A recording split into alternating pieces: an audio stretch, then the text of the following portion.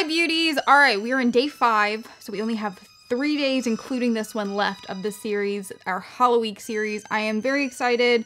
It's been very, very stressful. I hope you guys are enjoying it so far. Um, I've really enjoyed doing it. So yeah, today we are going to do a broken doll tutorial. Well, it's not a tutorial. No, no, no, no. It's not that. We all know it's not that. It's a broken doll look while I tell you stories about real life haunted dolls. Before we jump into this video, one, this costume is probably the most intricate because this is a costume I've had for a really long time and I keep like adding pieces to it. So it actually should look pretty cool, I'm hoping, by the end of it. And two, before we, we jump into the stories, I just want to give this warning, disclosure, whatever. Everything that I'm saying is being said with the utmost respect. I'm going to do my very best just to retell it as like facts that, are known about these particular dolls. Dolls for me are, I've always been very um, uneasy with them. I had uh, this my twin doll when I was little that was designed to look like me. My mom wanted me to be best friends with it and I was like, no. So I've just always been uneasy with dolls, um, and I think that these dolls have a lot of power. Personally, I when I was researching, I wouldn't look at the dolls. I will. I explicitly told Nicky not to include any photos of the dolls while I'm telling these stories. If you guys would like to look them up, feel free to. Um, I warn you that a lot of these dolls, um, there are legends and theories that if you look at the doll, even through a photograph, you might um, suffer some sort of consequences, in some cases be cursed. You guys know I'm very superstitious about certain things, and these are particularly, I really believe, um, have hold a lot of power. So that's just a little, uh, before we jump into the show, um, so you kind of understand why I've chosen to do it the way I'm doing it and why there are no photos of these dolls when there are very many photos available for all of them on the internet. So, all right, let's let's jump into it. That was my that's my whole spiel. Let's go. Let's do this. Ting tang, let's go. So I talked about my my twin doll.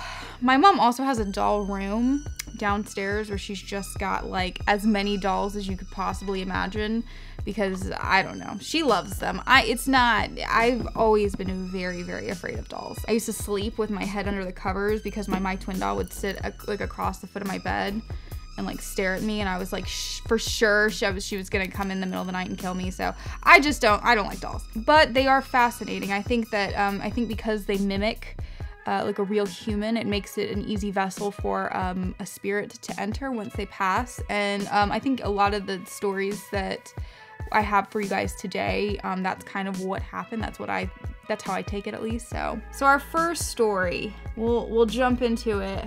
This is, of course, probably the most well-known haunted doll story, I would guess, um, just because of the Conjuring franchise. I actually wasn't going to include it at first because I was like, well, a lot of people already know but it's kind of hard to talk about a haunted doll and not talk about this case because there are so many people fascinated and there's so much information about it as well. So this is of course the um, the story of Annabelle. She is actually a Raggedy Ann doll. In the Annabelle movie, she's portrayed as a China doll, but in reality, she's actually a Raggedy Ann doll that was given to um, a young nursing student uh, as a graduation present from her mom and uh, her name is Donna, and she has a roommate named Angie, and they are the two that experienced most of this along with Angie's um, boyfriend. Angie's boyfriend from the beginning was very uncomfortable with the doll. He really didn't like it. He just sensed bad energy from it. Um, he tried to convince them to get rid of it. They basically, uh, they kind of blew him off at first, but they were noticing some odd stuff with the doll. Things like when they were out of the apartment and nobody was there, the doll would be in a different spot than when they left it. They would hear, I think a lot of times, like the, the scratching of feet on the surface of the floor when they were asleep at night and they they would know it was like Annabelle. So they just they were kind of uncertain about what to do with it at this point. So they brought it to a psychic and the psychic said that it was inhabited by a little girl spirit who used to live in their apartment building and it wasn't dangerous, it just wanted to be accepted into the house. And so they invite Annabelle to stay with them um, and they begin to make the doll feel at home. And I think at that point it kind of um, released a lot of energy into the house because of that. I'm gonna try my eyebrows with an eyeliner pencil because I want them to look like those like very thin drawn on like the early 2000s brows. I'm, I'm gonna try. We're gonna see if it works. It may be terrible, but.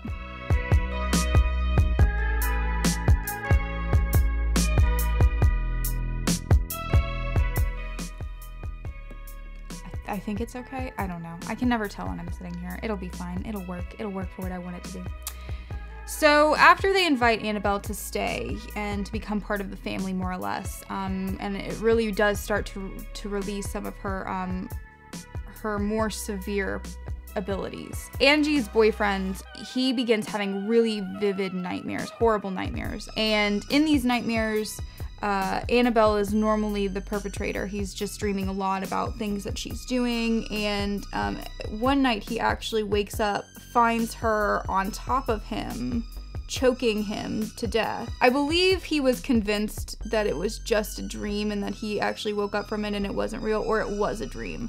Um, I think it actually was a dream, but when he woke up, he had marks on him. I believe that's actually what happened. Whatever, whatever happened in that night, he had this dream that Annabelle was trying to choke him to death, and then woke up and he had marks on his neck where she would have been choking him. So more or less, it happened. Like you know, he could have been dreaming it or whatever, but we he had some marks. So on another night, Angie and her boyfriend were actually in the living room, I believe, discussing a trip that they were about to take. He went into the bedroom to grab something, and Annabelle attacked him. And actually, he had physical claw marks on his body from the doll. And so at this point, they actually decided to consult uh, demonologists Ed and Lorraine Warren. They are very well respected in the ghost hunting community. Ed is actually the only demonologist who is recognized by the Catholic Church who is not in the priesthood. So they have a ton of credibility in this particular um, area. And they actually came in and um, they immediately revealed that Annabelle was not actually the spirit of a little girl, it was the spirit of a demon, or the spirit, it was a demon. They took the doll with them and were able to lock it away in a protected case that cannot be accessed from the outside. Basically, they have to break the glass if they want to be able to get into it. And they do still have access to Annabelle. Um, actually, just a couple months ago, there was like a somebody created a firestorm on the internet about Annabelle breaking out um, because they just changed the Wikipedia page, and I was like. The internet is wild, y'all. But um, but no, they do still have access. They both Ed and Lorraine have since passed, but they do. Um, it is in their their family like storage area. So they do still have the doll. And that is the story of Annabelle. And I believe that was in the 70s. I don't think I said that, but I, I think it was like 74. I think that sounds right. Watch the movie. All right, next one Robert the Doll. Robert the Doll is probably um, the most powerful doll that I have heard of. Um, a lot of different ghost hunters and ghost shows have talked about him. So, there's a few different stories about how Robert the Doll came to be. One is that he was given as a gift to young Robert Gene, who they call, I'm sorry, Robert Eugene, who they called Gene Otto, for his birthday by his grandfather, who had gotten it on a trip into Germany and it is a German doll, so uh, so that does make sense. But another version says that there were um, some bitter housekeepers uh, who had been caught practicing dark magic in the family home and were asked to leave, essentially fired. They gave Gene the doll uh, before they left and it had been cursed. It was a way to curse the family. Robert is life sized. He wears a sailor suit. Immediately, the family began to sense some sort of strange behavior. Gene was always with this doll. At first, they kind of ignored it, but they would do, they would hear things like somebody moving around at night. Gene would speak to the doll and Robert would answer. And at first, the family just assumed that, you know, Gene was making a voice for the doll and they weren't thinking too much about it. Then bad things began to happen. They thought maybe Gene was acting out and then he was blaming Robert for it. But then really huge things began to happen to the family injuries, car accidents, huge financial issues. And so eventually, I think they, they put Robert in the attic. I've heard the attic in the basement. I believe it was the attic. They put attic they put Robert in the attic and then they um, left him in the family home when they saw it, when they sold it. There were also reports from the neighbors of strange things with Robert. They had this huge bay window in the house. Neighbors would report seeing Robert walk back and forth. Uh, on his own, obviously, just in the bay window, just see him like strolling along. They wanted him to stay in the family house when the new owners came in, they had a daughter and they found Robert in the attic, and Robert did not like the new daughter at all. Was not a fan. Oh my god! All right, so just so much happened off camera. My lipsticks just went everywhere, and I wiped it off, and then start, and when I say everywhere, I mean like all over the desk and all over me and everything. So that just chaos ensued. So anyway, back to the story. Robert immediately started causing problems for the family, and so they opted to actually gift him to um, a museum, and that is where he currently resides. Um, people can visit him. He is on display. Uh, but if you do, um, you have to be incredibly respectful of him. He is actually surrounded by a wall of uh, letters from people who have been disrespectful or rude or taken pictures of him without his permission and then have immediately experienced horrible, horrible tragedies in their lives. I mean, like car accidents that have paralyzed people, deaths in the family, horrible things have happened. So um, definitely, if um, if you look up his picture, he is one of the ones that I, I, will definitely warn you about. He has been known to to send bad luck to people who are disrespectful of him, even looking at pictures of him. So all right, now we're moving on to Mandy the doll. Mandy is actually in a museum in British Columbia, Canada. She is over 90 years old and an incredibly realistic porcelain baby doll, but um, because of her age and you know natural wear and tear she does have a cracked face and her clothes are very faded and torn um, it's kind of uncertain what her origins are, but the lore is there was a man walking past an abandoned farmhouse and he heard the cries of a little girl. Um, and then inside, he actually found the dead body of a young girl clutching Mandy. They were not sure if it was an accident or if she had been murdered. Uh, the lore says that the spirit of the little girl went into the doll. The doll's previous owner uh, donated the doll to the museum because she would hear crying coming from her cellar and things would move around the house. Um, and then as soon as they, they gave the doll um, to the museum, that all stopped people often say with Mandy that they just feel like they're being watched or they feel discomfort if they're around her. Kind of one of those situations where you're like, where are the eyes coming from? But you know that there are eyes on you. The museum workers say that that didn't really start until they got uh, access to Mandy, so that's they all kind of link the two feelings. She also does not like to share her space. She is um, very territorial and so things in cases around her will fall over randomly. I'm pretty sure there have been cases where she's actually like opened her door as well. So yeah, she just does she doesn't want to be held down. I don't blame her.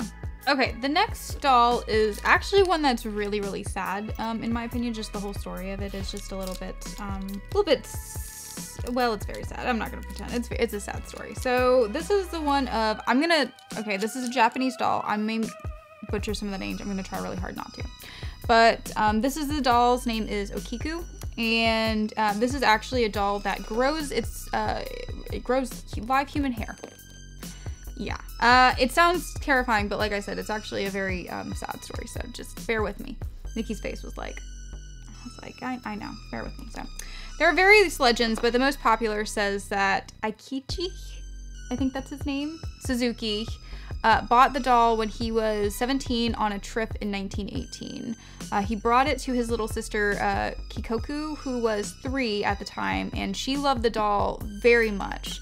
Uh, it was her most prized possession. She brought the doll with her everywhere. And one day she got incredibly sick, most likely with the flu based on the time period. Didn't, just could never recover from it. So um, when she passed away, her family made a memorial shrine and they placed Okiku, the doll, uh, there and they began to pray every day to the shrine um, in order to honor their daughter. At some point, uh, they began to notice that the doll, which had a very short, like bob like um, haircut, was growing the hair. Its hair was literally growing, and so they were kind of like, what is going on here? Um, but they continued to pray to it. Eventually, they, um, the family decided that they were going to move in 1938. They decided to donate Okiku to the Meneji, is that right? Meneji Temple but it was donated to the temple so that it could be protected by the monks. It is reported that they did do tests on the doll and discovered that the hair was actually human. The, the doll's hair is cut regularly, but it, um, it still grows.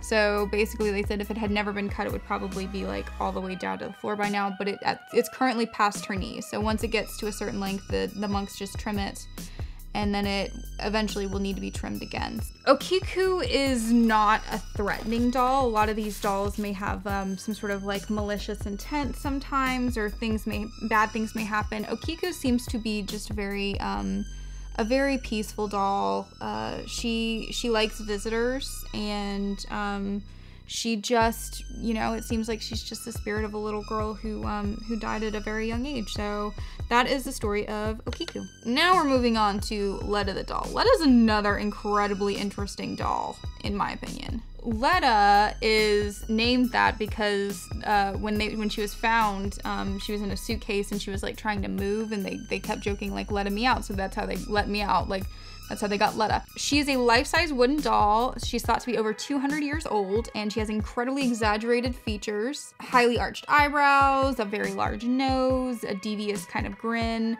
Um, it's assumed that she is um, an Eastern European uh, toy, probably from Romania.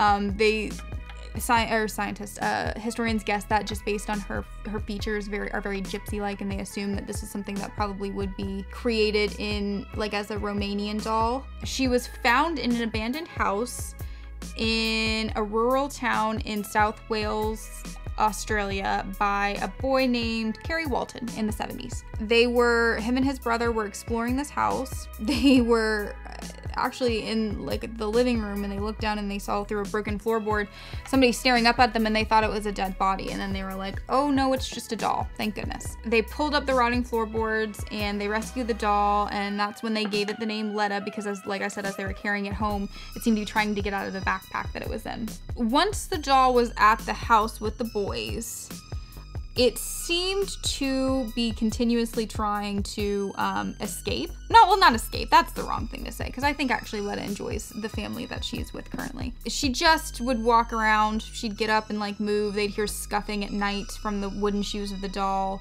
on the floorboards. Then, like in the morning, they would always find like like scuff marks on the doll's shoes from the floorboards. So they they knew it was Letta. They were like, "There's no doubt it's Letta." Um, they brought the doll to a bunch of uh, analysts and to a psychic to try and get an idea of like what's up, like why Letta does this. There's anything that can be told about the doll from you know the experiences that the families had. They discovered that once again, Letta's head is filled with human hair. Apparently, that was like a thing that people would do is like put human hair on a doll, which uh, that is to me very unsettling, but they psychic said that a little boy who drowned actually inhabits the doll. And Kerry Walton still owns the doll and considers it part of the family. Alright, I'm gonna give you guys one more bonus story that I didn't actually take notes on, but is very interesting, and I think you guys will probably like to hear while I do the last little thing I want to do. And that is about this Tickle Me Elmo doll it's so interesting because like the Tickle Me Elmo dolls were so huge. Like I remember when I was little, like it was like one of the big presents at Christmas. I can't remember if I got one or not. Which to me just shows like when people freak out about trying to get their kids like the big hot toys, like they don't even they're not even gonna remember. It was huge. You guys remember, I'm sure. You remember like people were like beating each other up for it. Well, this one Tickle Me Elmo doll was an, a later generation one. And it talked. You could program it to like say like oh, like tickle me so and so, and you would say your like kid's name. This one actually started saying the little boy's name was like Ethan, and it would start saying like, "I'm gonna kill you, Ethan. Ethan die. Ethan die. Ethan die," and like or kill Ethan something. It was like horrifying. And so the little boy was like two or three, and so he started saying it too. And his mom was like, What are you talking about? And then she heard the doll say it, and yeah, terrifying. They couldn't explain why it was doing it, and she sent it back to the manufacturer, and like they were just like, We'll send you a replacement one. Here's a voucher. You can get a free one. And I was like, I, Let me tell you, if that happened, I would never have another doll in my house, period. Like, there would be no question. It's always very interesting to me, the dolls that are like stuffed animal type dolls, like, or even like Annabelle, who's a Raggedy Ann type doll, because those are those have never scared me. Barbie dolls never scared me. None of those ever anything like that ever scared me. It was always like porcelain dolls. But it just shows, man, could be anything. All right, now I'm broken. Yeah, right? I know, super simple. That was like, that's why I wanted to do it on camera because I was like, how easy was that? Bing, bang, boom. All right, we're done. Everything except for the crack pissed me off in this look, so. Well, I hope you guys enjoyed the video. We have two more days. I'm so excited to share those with you. Um, actually, funny story, this is our final video that we're filming. So we filmed all the other looks, just isn't gonna post that way. Um, so yeah, uh, I know how everything turned out. I know the future. But yeah, so definitely if you liked the video, give it a thumbs up. If you like us, subscribe because we got more coming for you. And other than that, I hope you guys are all safe, healthy, getting ready for Halloween, and you have a wonderful day and stay girly with the dark twist.